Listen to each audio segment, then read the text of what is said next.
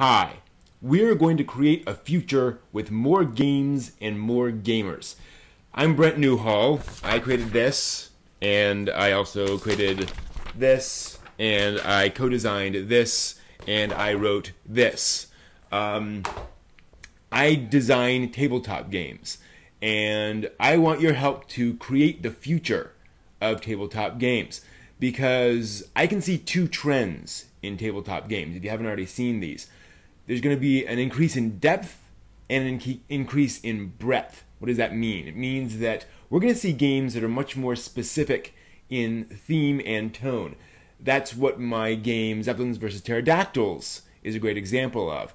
The players are all, uh, it's a board game, they're all controlling zeppelins that are flying over a lost world diving down for treasure amidst this these jungles and swamps full of uh, crazy dinosaurs, as you do.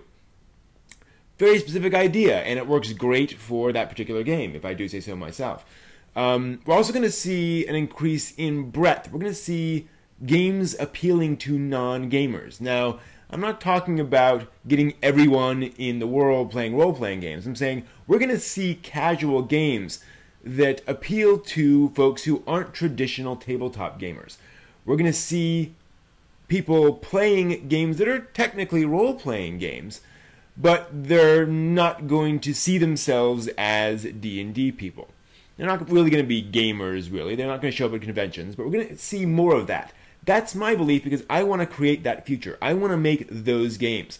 I want to make the games with specific cool premises for current gamers, and I want to broaden the market a little bit. I want to broaden it and see more people playing games. That's my plan. So I hope you'll join me and pledge a little bit for some of the games I'm working on. You'll see down below in the description, I describe some of the games I'm currently working on, and you can see where that's going. So thank you very much for your support. I hope to see you in that future. Let's make some cool games.